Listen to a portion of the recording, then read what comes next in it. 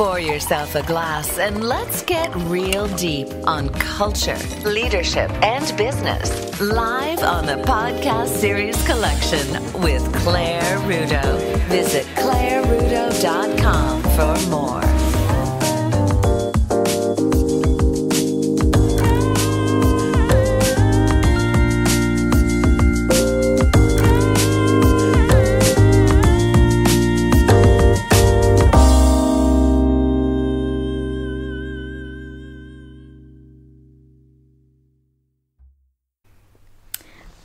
Hello there, I am Clare Rudo, and welcome to the Deeper Conversations, your dose of inspiration. We are tackling identity in this week, and today we are going to talk about purpose. Why are you here? Why am I here? Why are we here? That's a question that so many, if not everybody, asks themselves. One of the things that I would love to share with a twist is something that I really love. It has four dimensions, and I have introduced a dimension I feel needs to come into that picture to help you answer why are you here on earth and if you plan to go to Mars, why you're here in the universe wherever you plan to domicile. Hope you're getting that ticket. To Mars, of course.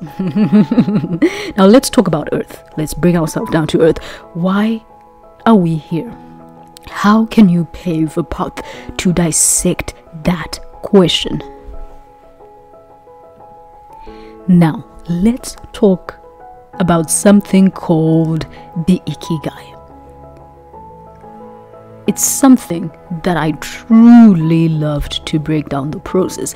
It breaks down why you're here, your purpose, into four dimensions.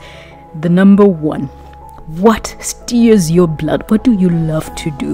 What do you enjoy? What do you get out of bed and want to do without anybody pushing you, without anybody asking you or giving you accountability, whatever you want to call it, accountability buddies. What do you love to do with your own willpower?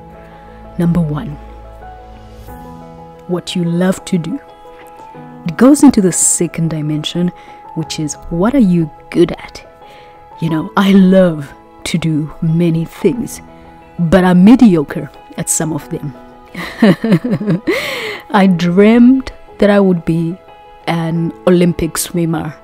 I swear to I swear to God, honestly, I loved to swim. I was actually in the team, in the backstroke team. But it's not something that I was able to pursue. So it did not go into the things that I was extremely good at. So, number two pillar, if you dissect the things you love and branch them into the things that you are good at. You love them and you are good at them. So you have two dissecting parts. That's already pretty good because you are jumping out of bed, you're doing things you love to do, and guess what? You're pretty good at them. Isn't that cool? So now you have two dimensions. Let me bring the third one. What do people want to pay you for? I know, right? I know. Well, listen. I have things that I love to do, that I'm really good at, that even my own mother or father would not pay for, nor my siblings, simply because of family benefits. They will not pay for that. So, what are you good at that you love to do that people will actually pay you for? So, you've actually found a career pathway you have three dimensions, but that's not what all life is about. That's not what life is all about. Jeez, that's not what life is all about. You can feel completely empty because we are meant to be more than monetary value, than things we can do, than talent. There are things, people around us. To do more for one person could mean a lot. And that brings us to the fourth dimension, What do people need? What can you help someone with? That's a vocation. And if you can balance out and combine one, what you love to do, with two, what you're really good at, and three, what people can pay you for, and four, what people actually need and that you can actually help them in their lives. That's like the center bomb where all these things dissect. Could be things to help you figure out why are you here? What is your purpose? Of course, this is a seven minute dose of inspiration. I hope that it inspires you. What I have done for us, I've added a dimension, a twist that I think is so important in answering the question for yourself why am I here? Let's go into it. So, the dimension that I introduced to this Ikigai is well being when you find something you love that you're really good at, that people want to pay you for, and that they actually need and are being helped while maintaining your well being and keeping that overall well being within that box, within that sphere.